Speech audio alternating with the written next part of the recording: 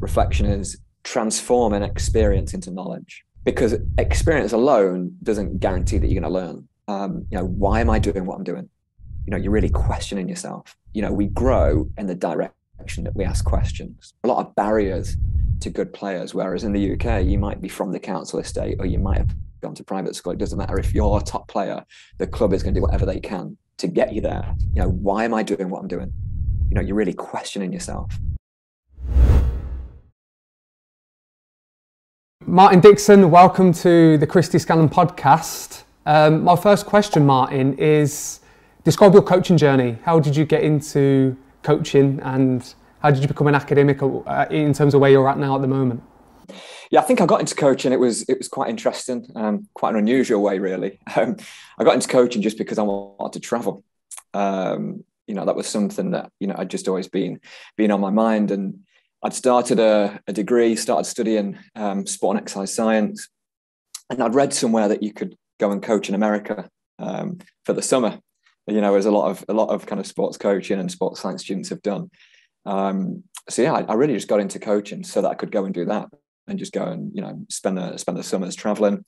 Um, didn't really have a clue about coaching. Um, for the company at the time, you just needed your level one. So um, fortunately, the you know the university at the time they were subsidising a lot of coaching awards, so I just had to do a bit of volunteer work, and they would pay for the level one. And um, you know, I worked at a local leisure centre. Um, I wouldn't call it coaching. You know, I was just kind of put some cones out and kept an eye on the kids. That wasn't really much coaching, but it was what I needed to do um, to get me out to America.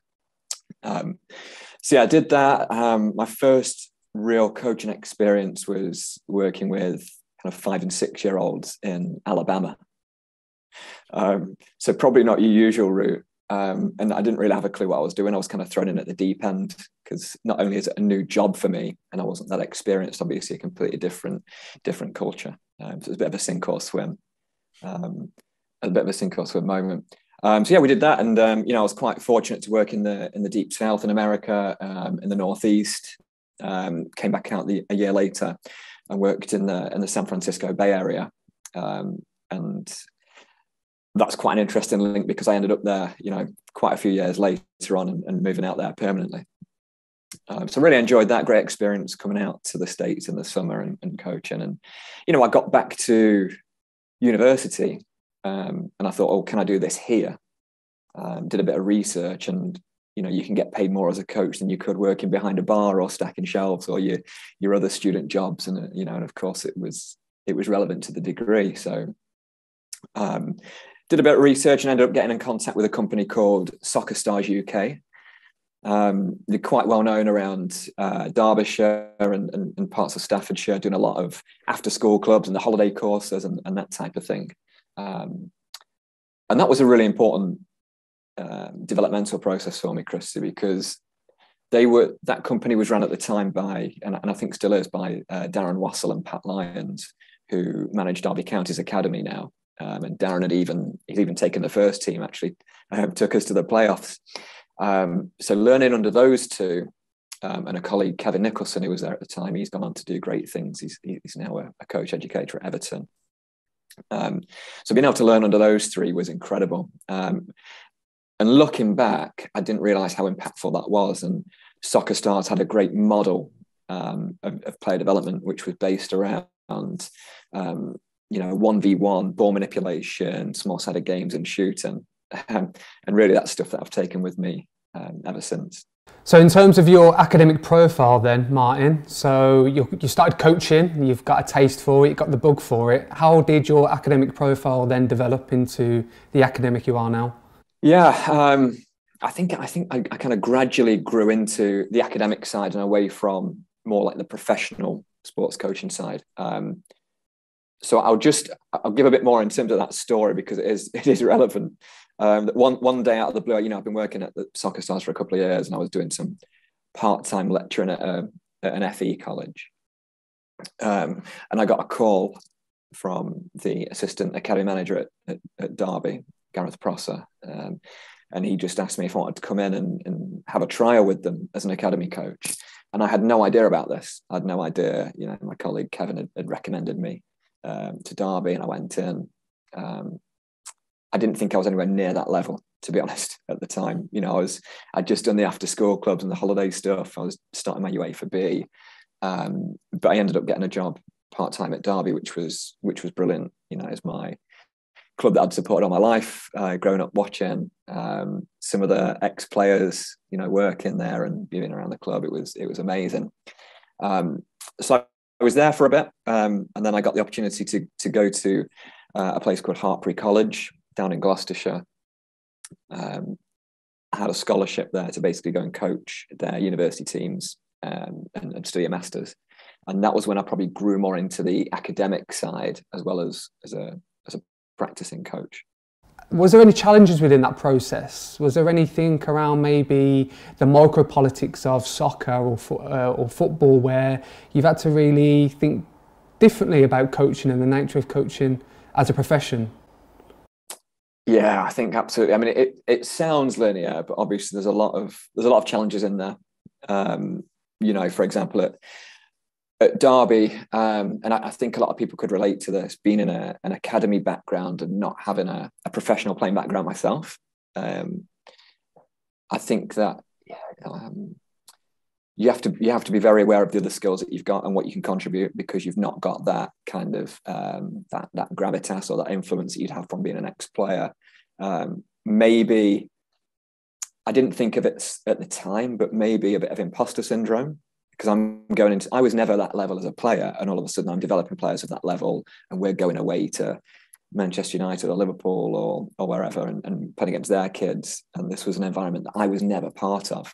Um, so I think that was, that was quite challenging. I mean, a wonderful learning experience, um, you know, at, at, the time, but um, also quite challenging. You've got ex pros, ex international professionals. Um, and then it was a bit like as a 23, 24 year old who's just, who's whose experience in that sense is limited. You know, what am I bringing to the table? So that was a really steep learning curve. Um, and even though even though it was academy level, it was I, I, did feel quite a bit of pressure to to get a team performing. Um, and it was, you know, I was only working kind of like the under 10s, but to get a team performing. And I remember the big games like we play against Nottingham Forest under 10s, but because it was almost like that local thing, the parents would be down there. It was really intense, you know, and um, especially being attached to the club emotionally as a, as a fan, you know, previously, um, I felt quite a bit of pressure, um, you know, to get the team playing as well as as well as developing the players. Two key terms that you said uh, then was pressure. So did you put pressure on yourself? Uh, two questions here, Martin. Did you put pressure on yourself, or was it the organisation uh, uh, and, and the people involved within that organisation? And imposter syndrome, how would you deal with that as a young coach going into those environments? Two big oh, questions. I do, apologise. Yeah, I'll try. so I'll we'll start with the first one. We'll start with the first one. So you said pressure. Was that internally yeah. or externally? Mostly internal. Yeah, I, I think not not the organisation. They didn't put pressure on me at all. I think that at the time we had a really forward-thinking academy director um, called Kevin Thelwell, who's now I think head of football at Everton. Um, he was wonderful. Um, and Gareth Prosser, who's the assistant academy manager. Those guys taught me a lot, and I learned a lot from the other coaches there as well. So um, they were very forward thinking. They were more developmentally focused. Um, you know, they wanted the players to to relax and, and develop in a in a good environment. Um, but it was more around the academy coaching environment generally. I think. And obviously you had a lot of commitment from parents. Like we hardly had any kids actually from derby. That were coming in from birmingham from leicester. So you had these kids traveling in like three times a week you know probably you know the best kids in their school best kids in their area. Um, and i'm now responsible for their for their development. So i think i think it was mostly um, internal pressure um, to do that and, and, certainly if i had my time again and, and going back to it i'd be much more relaxed around it mm you know, but I think I put a lot of pressure on myself there just because I was new to that, as you say. And I guess the imposter syndrome thing, I think that's that's linked into it because if I'd been around that environment more as a youngster, or perhaps if I'd have played at a higher level, then maybe I wouldn't have had that, and you know, I'd be able to cope with it a bit better. Um, I think dealing with it is as as a young coach is understanding that whilst you've got a lot to learn, you've also got a lot to contribute. But it's working out what that is. How can you add value? Because you can't add it as in, you know in terms of your playing background. Um, but what you can do is you know perhaps bring in for me you know a bit of that academic experience. You know one of my main subjects at university was skill acquisition motor learning something that i teach now. So how do we actually develop skills you know across different whether it's sports environments. So i had a lot of knowledge there. You know what's you know what's the best way or what's a good way of giving feedback? What's a really effective way of designing a practice? So that was a way that i could add value. So i think i think dealing with it is is working out and valuing what you've got to contribute uh, you know and bring to the table. I'm not sure if i was ever um, inauthentic in terms of values but yeah definitely probably act in a certain way or putting on a bit of a front that you know you wouldn't usually have um, you know and, and, i go back to that experience i had with with soccer stars. I'm working with kids after school and then kids the same age at the academy and i'm doing something quite different. I'm treating the kids quite differently.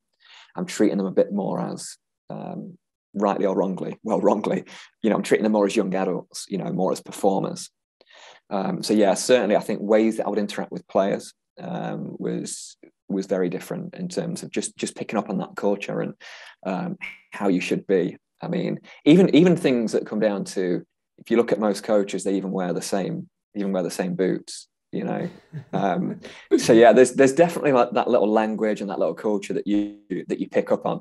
Um, mm. But at the same time, as you say, you have got to be authentic. You can't be you've got to be you. I mean, and, and I think that's a challenging coaching now because there's so many, there's so much knowledge out there, you know, mm. going on YouTube, following people on Twitter, LinkedIn, and reading people's books. There's just so much out there, and there isn't there isn't one blueprint to it. You know, sometimes I've read a book and I thought, okay, I want to be more like that. Um, I got really into, like most of us do in England, I got really into like the Dutch um, system of player development and playing um, you know, four three three, playing this expansive game and stuff. And then I went down to to Hartpury College and I was working with the second team there, and I thought, okay, I'm going to get them playing like this. And I wasn't used to university football, you know, and um, there were so many turnovers, and it was very physical. Um, you know, and it, it didn't work at all. And within a game, I had to change it and just think about, you know, what have I got here? What are my players? What has my team got? Um, and work with that rather than me thinking oh, I've got to try and um, take from this coach that I've learned about, from this other coach that I've learned about, and try and impose that because um, that wasn't it wasn't appropriate for that situation. So, yeah, that, that authenticity is something that I just think comes with experience, and, and because because there's so much knowledge out there. Um, but if we even look at top coaches, they all do things a different way. Like nobody's exactly the same. So um, you can take little bits from people, but um, you know you've got to be you because even if being you isn't isn't being the best coach, it's going to be better than trying to be someone else. So many different avenues that we can learn. You mentioned all those social media platforms and the experiences people might get. Do you think sometimes coaching can be overcomplicated? Definitely, definitely. And I think a big skill is what information do you ignore? Um, you know, I'm on I'm on LinkedIn and I often get these things around coaching or match analysis. Um, and it's like there's just too much out there for me to be able to implement into my practice. Mm. Um, so I, I, think I think a big a big skill is having an understanding of you know what's going to add value to me um, versus what's going to um, perhaps distract. And you might get into the idea of that that butterfly coaching where I'm starting to pick up little bits of, of everything. You know, from this person, I'm, I'm bringing in um, aspects of this of this discipline, um, and that's where I think the reflective practice is, you know, the reflection is really important because that's learning about yourself. Um, and you mentioned authenticity, Christie, and you know, through reflection, we can perhaps have a bit more of that because we can generate more self insight, we can generate more self awareness. You know, what what am I about as a coach? Um, and then just be selective in terms of what knowledge is going to add to that and contribute to that. Do you think that there needs to be a bit more of a awareness of the culture of football itself and how it might impact those involved? Yeah, absolutely. I, th- I think that you are seeing some changes, even if it's very gradually. Um, now, at least, it's a conversation that's being had, particularly around the exit strategies. And you know, it was definitely the hardest thing I had to do was was releasing players.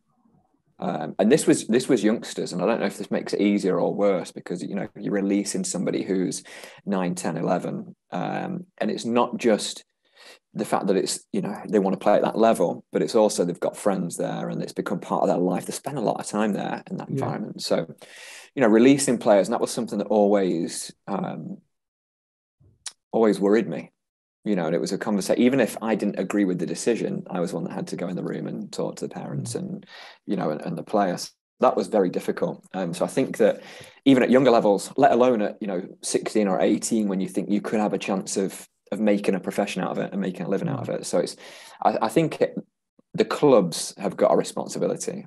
Mm. You know, we, the, you know, there's there's a, the statistics around there about um, how many players enter an academy or a or a professional club. How many of them are going to actually make a first team appearance? Very few. Um, so then, what are we doing with the rest of it? Are we only operating for that one percent? We, do we only exist for that one percent? So I think it comes down to having a, a broader um, perspective and broader mission.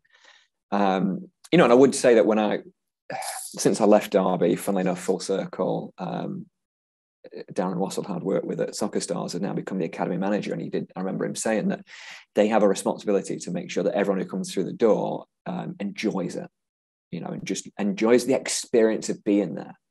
So I think it comes down to those clubs having a bigger mission and not just obviously promoting players to the first team as your main goal or being able to sell players to, to keep the club afloat.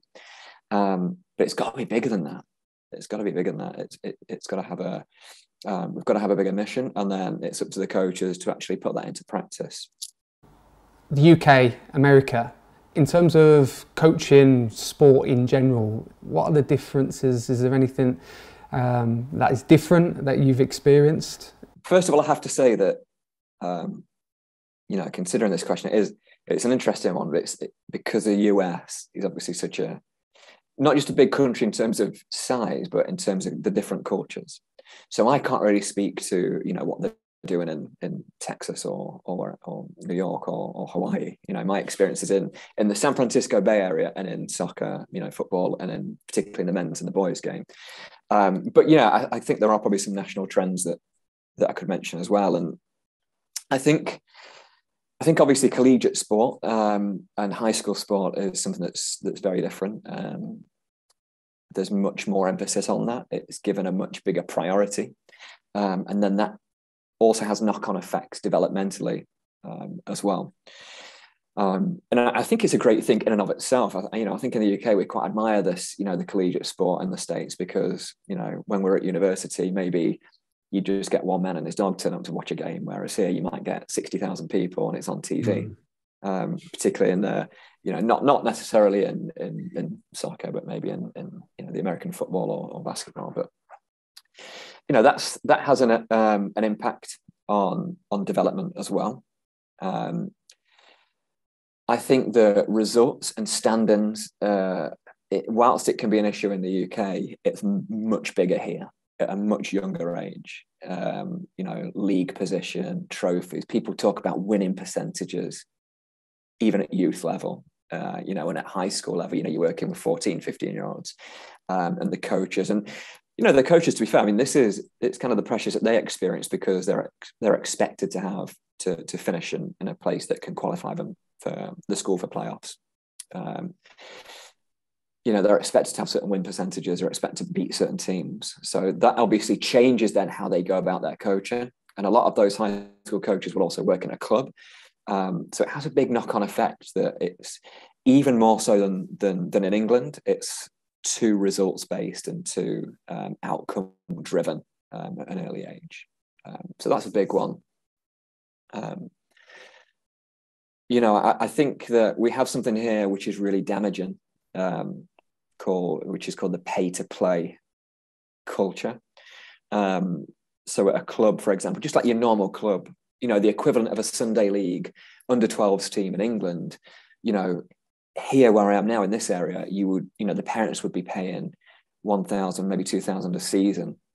You know, there are two seasons a year. So you might be paying, you know, two, $3,000 a season to get your player into the club. And it's not even a, a particularly high level, right? It's, you know, it's just a grassroots recreational level. Um, you know, and that's the, the positive of that is it gives coaches a lot of work. So, you know, this is something I'd come back to is professionalization of coaching is very different in, in, in both countries. Um, and there are more opportunities to work as a coach here, a, a, variety of levels, you know, not just at the elite level. You know, you could be a full time coach working at a recreational level. Um, but that's because of this pay to play. Um, whereas for us, you know, for, I remember for me, it was like I pay two pounds a week in in subs, and then and then that'd be it, right? So, the, but these these are paying thousands because it is a business. You know, there are leagues and tournaments, organizations that are charging a lot of money for your team to be able to enter and compete. And if you don't do it, it's very difficult to develop because that's what the best clubs are doing. You know, and the best clubs are charging the most money. Now, the huge problem that they've got here is that the top players are often from immigrant families, from um, less affluent areas. Um, but these the top clubs who are obviously paying more money to get better coaches you know they can they can charge more so they can pay better coaches um, you know they're not they're not recruiting those players are in completely different areas so mm. it's actually a system that is excluding the best talent in the country um, and sometimes I hear things like, you know, the USA will win a World Cup, you know, the US men's team will win a World Cup in the next 20 years or something. Um, you know, I actually think the US, I'm surprised at how good they are now considering what I see here developmentally, And when you compare that to what's some of the improvements that have gone on in England, um, you know, and obviously in other European countries and South America and Africa, um, I'm kind of surprised that they're as good as they are, um, because there are some there are a lot of barriers to good players. Whereas in the UK, you might be from the council estate or you might have gone to private school. It doesn't matter if you're a top player; the club is going to do whatever they can to get you there, and you don't have to pay any money to do it. So, I think that that has a, a big impact on on the culture um, and also on on kind of coach uh, behavior. Can I ask you about the emphasis on the educational system, the university system? So we see a lot of scholarships and opportunities for those that are very talented within sport to go to university. Different to maybe the UK. I know we have a scholarship system here. I get the impression, and, and again, tell me if I'm wrong, that there's more emphasis on education, higher education, sport, and that kind of alignment between between the two there in comparison to maybe the UK. Am I, am I right or wrong? Uh, you're right, and it's you know what it's got. It's got some strengths and weaknesses. You know, there are some um, there's some great things that have come out of it. I mean, you know, combining the athletics. You know, athletics here is sport. You know, it's not track and field. You know, so combining what they call athletics um, and academics is, you know, is is a wonderful thing. Um, and the you know, a lot of the athletes, it's really hard. It's it's really difficult. You know, some of them might be on a full scholarship or a partial scholarship, which sounds great, but you know, when you're traveling and you've got a flight to games and you've got a busy schedule and you've got to study full time, I know that the athletes work very hard. And when you're talking about things like player care, it's a similar issue here. Um. I think there's a bit more support in place here, you know, for for those athletes. Um, so it's a great thing, you know, and, and the, the, you know the athletes have got to maintain their grade point average, so they've still got to make sure they're keeping up with their with their classes and and performing um, in the classroom as well as as well as on the field. So there's there's pressure for them, but it's you know the academic side is certainly not neglected. Um, there's a really interesting, um, I guess, rule or policy here called Title Nine, um, which is also a wonderful thing. So that's it's it's about equity. And amongst other things states that any investment into male sports has to be equal in female sports. Right. Um, and this might also explain why you know the women's football women's soccer is so big here because if universities are putting loads of money into you know their american football team which has a massive roster, then it also has to put equal amounts of, of, funding into into women's sport. So obviously that goes into it goes into volleyball, it goes into maybe women's basketball, soccer, tennis. So the the, the athletic programs for both males and females are you know are really well funded. So it's a great thing, and and also as I say, as a coach, you've now got more employment opportunities. There are very few in the UK or in Europe employment opportunities as a, as a coach at a higher education institution. You know, you, there might be some, some might be combined with teaching. You know, here, um, you know, that's a full time permanent job. Your profession is an academic. You are, um, you know, you publish academic articles. You you write academic books. How do you apply um, academic work into your coaching profession? Yeah, that's that's a that's a great question. So so my my current role, my main job is um, I'm a lecturer in kinesiology uh, at San Francisco State University, um, and I mostly teach motor learning and skill acquisition, um, which is something that I love. It's something that I've taught, you know, at, at other universities back in the UK, and obviously it lends itself very well to coaching because fundamentally that's about you know there's a, there's a few key concepts, but really it's about instructional behaviors. So how do we most effectively give feedback and demonstration um, also, when should we refrain from doing that and let them learn just just through the exercise? So it's about instructional behaviors and it's about practice design. So of course that that links into my coaching, you know, almost seamlessly, right? I'm thinking about, you know, I talk about this with students every week, uh, and I get to work on this with the players. Um, and also, I do some coach education here at the university as well. So, yeah, that for me it links nicely, you know, and, and I get to use that that knowledge, you know, through the research, um, see if it actually works in my coaching, and obviously sometimes it doesn't, because uh, you know this is really the interesting thing with with academic researchers. The studies have been conducted in a very specific setting with a specific sample or group of people, and then you apply that to your coaching, where your environment is completely different um, and it's not just about skill acquisition, motor learning. It's also about getting players' attention, motivating them, you know, making sure that they, you know, feel part of the team. You know, you got good relationships with them and with and with the with the parents and whatnot. So yeah, there's there's some there's some barriers, um, and I also bring it the other way. Like you know, my coaching informs what I do as a teacher. You know, I try and get people out of the classroom onto the field. You know, um, so they they both link in really nicely. Um, where I've definitely seen challenges is um, trying to get those concepts across to to coaches. Um, you know, so my role at the club as, as technical director, one of the things was coach education and trying to implement um, our principles as a club. Um, and this was a really difficult balance. You know, we're trying to implement our DNA. You know, what we want every coach to be able to do, we want every team to be able to do, um, and what a, a, player should look like at our club. Um, but also, we want to ensure that the coaches have autonomy as well. You know, because that's the fun of being a coach. You know, I've got to be able to, you know, choose my formation and do what I want to practice this week. Um, so it was a, you know, a, a, quite an interesting balance. You know, in talking to the coaches about some of these concepts like practice variability. You know, this is something that is really key. Talking about implicit learning. So you know a player learning through an exercise or through your session rather than by mouth rather than you telling them exactly what to do and through that explicit instruction.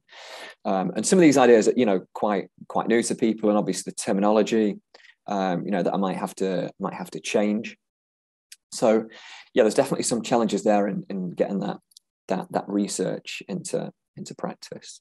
Um, you know and I, I think it also comes back to the back to that culture aspect. And um, you know, when I was working in the UK, I'd go on coach education courses, um, and I would see quite a big resistance to academia.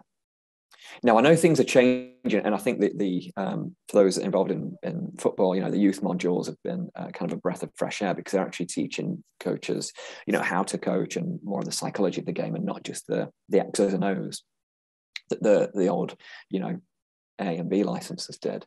Um, you know, obviously you need you need both elements. Um, but yeah, I, I, would notice quite a lot of resistance to any academic ideas. And I even I can remember having a conversation with a colleague of mine, and we're both sports coaches, but also sports coach and academics. And he told me that he just wouldn't, when he was on a coach education course with the FA, he wouldn't say what he did for a living. He didn't want them to know that he was a lecturer because people would treat him differently. Wow. You know, um, you know, there'd be resistance to it. Um, and, and I think not just for, for us as lecturers, which, which is a shame because you've got somebody there who's got years of experience and a lot of knowledge, whether it's theoretical or it's come from research, um, and even that might be useful. You know, a course is only as good as the people that are on it. You know, not just the coach educator or the tutor; it's, it's the group. So it was a shame because he's now withholding all of that experience and all that knowledge. Um, but actually, I, I, want to come back to this idea of, um, you know, the the barriers, you know, between between research and practice. I remember being on a course, you know, it was an FA course in the UK, and um, there was this thing that had, that had happened where some of the sports there were sports science students on the course who were also coaching academies, you know, and they'd been kind of mocked a few times for being, you know, for being squares or for being, you know, um, you know, I guess overly intellectualizing football or something. Um, and then one day there was a coach. He was a he was a great coach. He was actually working at one of the top clubs in the country. Um, um, and he brought up this idea. He said, he said, all right, you know, at, at, such and such a club, we use something called random varied practice. And he started talking about it in the group. And the coach educator just said to him, bloody students. You know, and the group's laughed and they've laughed at him and then he's kind of laughed along with it. Um, and that was how, you know, that, that, I guess an academic approach to it was treated on the course. And I was sat there thinking, what he's just said was probably the most important thing that I've heard on the course mm. regarding regarding skill acquisition, regarding player development, and he's just kind of been ridiculed for it. And I think because perhaps because that that tutor maybe wasn't comfortable and with that language himself. So I, th- I think it, you know it comes from both sides. You know, we've got to from the academics or from sports science students, we've got to perhaps package it in a way which is more accessible. Um, but then also for the for the coach educators and, and you know for people in the game to be a bit more receptive to it you know, and instead that he could have said to him, rather than saying, "Oh, bloody students, what do you know?" Mm. Um, you know, you know, all this academics, all this science. Instead of saying that, he could have said, "You know, why don't you tell us a bit more about that? You know, how would that look in practice?" So I think part of it was there's a bit of a resistance to it, and maybe it was about being that person not being secure in their own knowledge or not being familiar with the terminology, or um, you know, I'm not sure, but at, at that moment, you know, he'd, put the coach down. So I've noticed quite a few things like that. Um, and I think the responsibility for bridging that gap comes from both sides. A research article, right? So, you know, that might be relevant to coaching. You know, we have to make sure that it's um, that it goes off to a to a good journal, and then the editors and the reviewers might say, you know, I want you to talk more about this theory, or you know, you're kind of forced to use um, a certain type of language which isn't really accessible to, to most coaches. So there's there's an issue from both sides. There's an issue from um, the research, the academic side, that we've got to make our work more accessible. Um, both in terms of you know can coaches you know get access to it? Is it on mm. is it on platforms that they can reach? They're not going to pay to subscribe to a journal. Um, and then also making sure the language is, accept, is accessible as well. That's, as I say, that's challenging because we're judged as academics more on um, the impact factor of the journal, and therefore it's got to be, um, you know, it's got to be attached to perhaps more of an abstract theory, um, which I understand in terms of you know making sure a study is rigorous and that it adds, you know, it adds to the literature. Um, but also, we have to ask ourselves, what's the purpose of this? Why am I writing this article? Is it just so that another 50 academics around the world, we, you know, we just read each other's papers? Um, or do we actually want this to get into coaching practice and, and help people? Hmm. You know, and, and, I think a lot of coaching research can be a bit preachy as well. Um, and I've done this. I actually wrote I actually wrote a paper a few years ago, and I sent it to a colleague mine to, to review. And I'd use the phrase, you know, based on our findings, I used the phrase, "Oh, so you know, coaches should do this," and and he replied to me, "Why should they?" Um, and I thought that was that was that was really good feedback just because I found something with one group of coaches doesn't mean that all coaches should do, you know, they should use reflective practice in this way or they should, mm. you know, give feedback in this way. So I started to change that and I've actually done a control and F through all of my documents and remove the word should because it's not for me to tell coaches what they should do. My responsibility is to, to give something that's useful, right? Coaches, you might find this useful and, and package it in a way that's access, is accessible for them. Um, so we've certainly got our responsibility from the academic side. Um, and it's really tough, you know, Christie, because we put things, you can put things on LinkedIn and Twitter. Um, but then if you do that, you just get the headline of the study and you don't get the nuance of the study. So maybe there's a certain way of practicing a certain drill or something and it's been really effective. so a coach sees that and then they go and use it. But what you've not said is, well, it was effective, but only with these players at this age, at this level, in this particular setting. Um, and maybe it's not applicable to, to what you're doing because your environment's completely different. So um, it's challenging, but you know we've got to do we've got a responsibility from the academic side but also coach education. Um, the coaches have got a responsibility as well to get more in touch with evidence-based practices, not just doing things for the sake of it, not just doing things because that's how I was taught, or because that's how the club does it, or because I just want to put on a practice tonight and get through the session. You know, is it actually based in evidence? Is there anything out there that says this actually works? Uh, you know, and I think I think we've seen we've definitely seen massive progress towards that because um, partly because of the E treble P, which I know has got its pros and cons, but one of the pros is that um, sports science has become more embedded, you know, throughout clubs now. You know, because it's got to be. There's got to be more evidence-based practices. There's got to be people from different backgrounds now contributing um, towards um, towards academies and towards you know de- development of players. You, reflective practice is really key within that process. Why is it important and how does it benefit coaches in terms of the reflective process? Um, yeah, that's a great question because um, it's, it's kind of a buzzword as well. You know, you just hear people, you know, I reflected on this, and you know, there's a lot of there's a lot of different definitions or meanings. Um, essentially, for me, reflection is transform an experience into knowledge. Because experience alone doesn't guarantee that you're going to learn. You know we might you might see somebody who's just been doing the same thing for years making the same mistakes for years they're not really growing developing changing. Um, so it's it's transforming that experience into knowledge. It's that process that we go through. Um, and then from that we can make improvements in the future right? So so it's very important just for our development um, to give us more insight into we come back to that idea early on who, who are we as coaches? To give a bit more self-insight self-awareness. Um, you know why am i doing what i'm doing? You know you're really questioning yourself. You're not just um, it's the opposite of of going through the motions. It's the opposite of being robotic about your coaching practice and just turning up week after week season after season churning out the same thing. So reflection is something that is stimulating that that improvement and that growth. Um, you know it can be done many ways which however you engage with it you know some people love to write things you know I'm, you know i have to take notes on it and write it down. Some people it's got to be social to, a conversation with somebody about your experience and you know what they ask you might trigger certain thoughts. You know other people you know use video as well you know which is a initially i found it very awkward you know you watch a video of your coach and, and it's like wow i don't sound like that. I don't talk like that. But that's really powerful as well to to, to trigger it. So there's lots of different methods um, but really the process of it is how it's the questions that you ask yourself. Um, you know, this is you know the recent work that I've been doing with colleagues is um, what's your reflective process in terms of what questions do you ask yourself? Um, and I've you know I've, I've overseen many undergraduate sports coaching practical assessments um, and usually what i say to them is after they've you know they've gone out there and they've coached the group and you know i've been you know writing some feedback for them and i'll say i'll say something like oh so how do you think it went?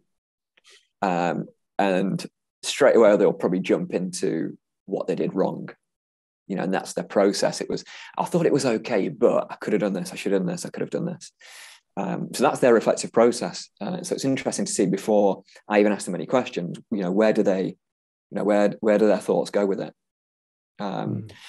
a, colleague of mine um, professor Tony Ghaye um, he came up with this um, quote. I think i think i think he came up with it. Um, uh, or, or, he paraphrased it, which I, I, really enjoy, and he said that um, you know we grow in the direction that we ask questions.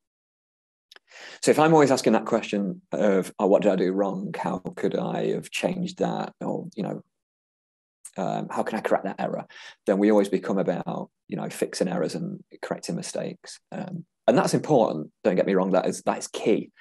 Um, but also, we've got to ask ourselves, you know, well, you know, what was good about that? Because actually, I probably don't notice the things that went well. I probably notice those standout things that went badly. So what was what was I good at? What would I want to lean into a bit more? Um, what did I do well? Because reflection is more than just evaluation of a session. You know, sometimes before people get that idea of reflection, it becomes more about evaluation.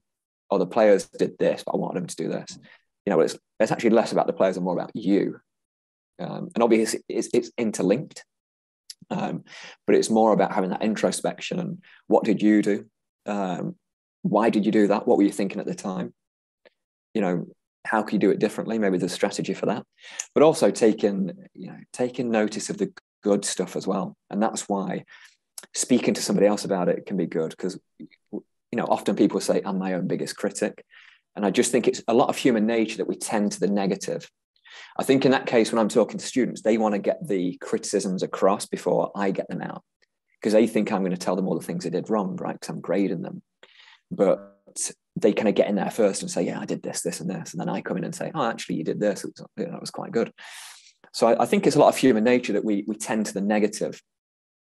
So whilst reflection is really important to help us correct mistakes so we don't keep making the same ones and uh, we learn from those from those failures and we can process that failure um, and deal with problems it's also important to ask ourselves questions around what are our strengths um, what are we good at you know who am i as, who am i as a coach um, how can I make a strength something that I do more of? And you know, a strength can be something that we still improve. Um, you know, I wrote a chapter on it recently, um, and one of the analogies that I gave was um, as a player, if I've got somebody who's a centre midfielder, they've got great vision, great passing, you know, they can dictate the game. Would I work hours and hours on their heading because they're not very good at it? You know, probably not, right? Just say this is what you're really good at. You've obviously got to have a basic level of all the skills um, but then you're going to recognize and a coach is going to recognize what your strengths are and this is what you're good at. These are the things you're really good at and that's what i want you to develop. Um, you know versus if we only ever correct problems then we never we never really get to develop our identity as a coach. We never get to identify, identify our philosophy and develop that because we're just attending to all the different things that are going wrong um, so yeah, for me, it's it's very important for that reason. Um, it helps us grow and develop into the in, into the coach that we can be and reach our potential, um, as well as starting to you know learn from those from those mistakes and, and process failures. You mentioned that as humans, we reflect and focus on the the negative and we kind of maybe overthink what we could have done better. How how could we have um, done the session differently, etc. How do how do we make reflective positive then? If that's a key issue within the process of reflection, how do we change the mindset of looking at the positive rather than I could have done more? Yeah, that's a good question. I think it I think it, it takes time, and I want to I want to start by saying that reflection isn't necessarily always good there's a thing certainly in the coaching literature and you know as i say it's a bit of a buzzword amongst amongst coaches and educators you know reflection's not always good.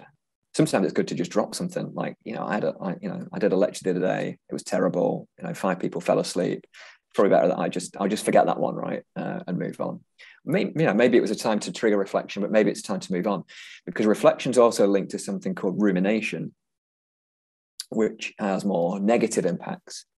Um, and a study that a colleague of mine, Dr. Martin Turner, he was involved in, has found that um, reflection is linked to rumination. And rumination, it's similar, but it's this idea that we, you know, we we just can't stop. We fixate on it.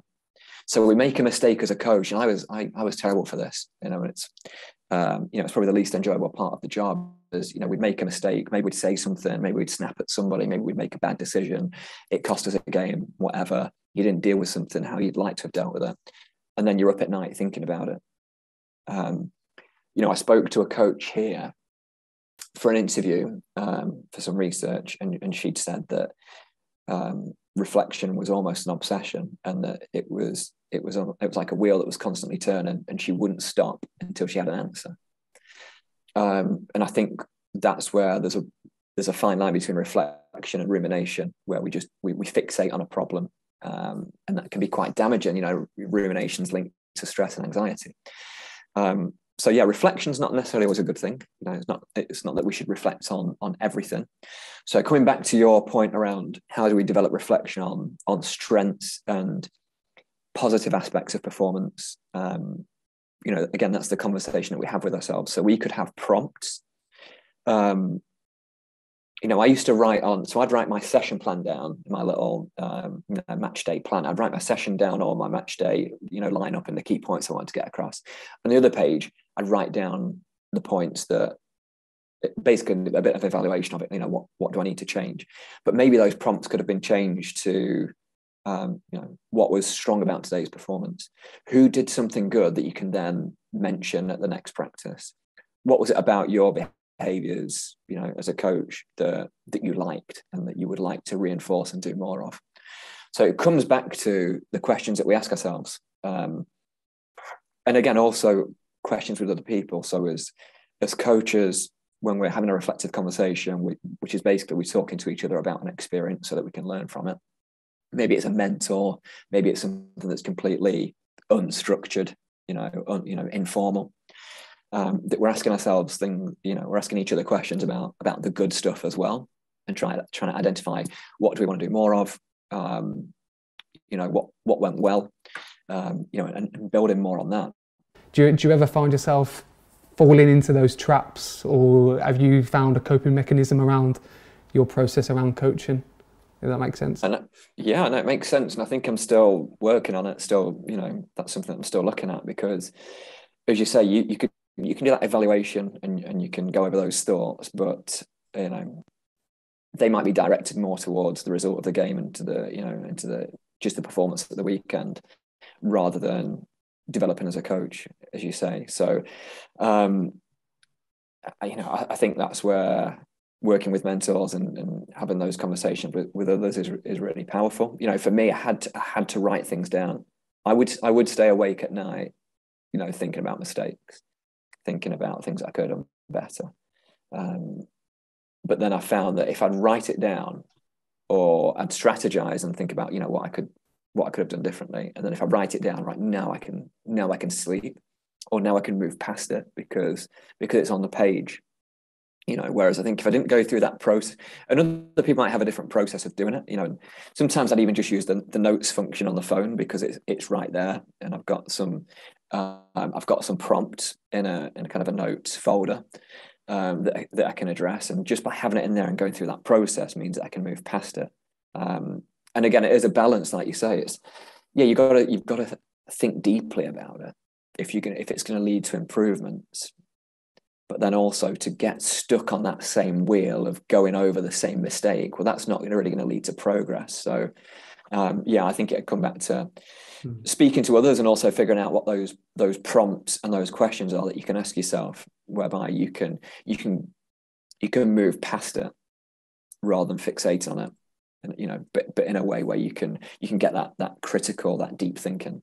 So, final question then, Martin, and a bit of a, an overview of everything you've presented today. If you could maybe go back to the beginning of your coaching journey, um, what advice would you give yourself, knowing that what you know now? Um, I mean, it, yeah, it's probably similar advice I'd give to most young coaches or, or students. Um, it'd be to seek out opportunities rather than wait for them. You know, and that was something that I learned later on. Um, but again, I come back to that idea of aspiration. You don't, if you don't know what's out there, you don't know what the possibilities are.